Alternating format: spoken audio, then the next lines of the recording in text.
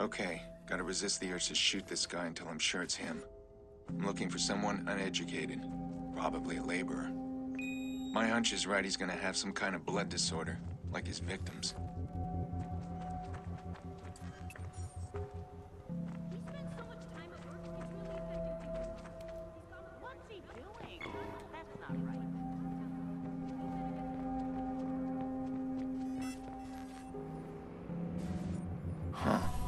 This might be our guy.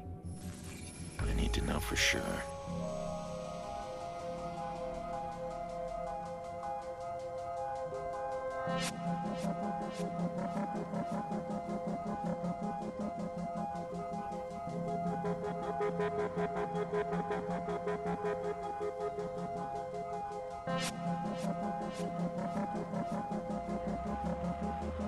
Hey, we gotta talk.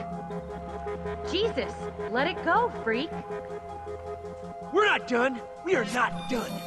Leave me! Oh, thank you, thank you. All right, Edgar.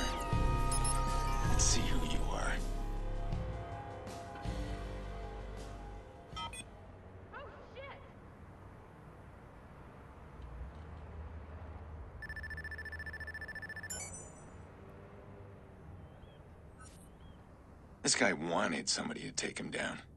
Must have figured out I was onto him, that he had a private audience. Did he start leaving the bodies where I'd find them? No, I'm giving him too much credit. Edgar was obviously insane.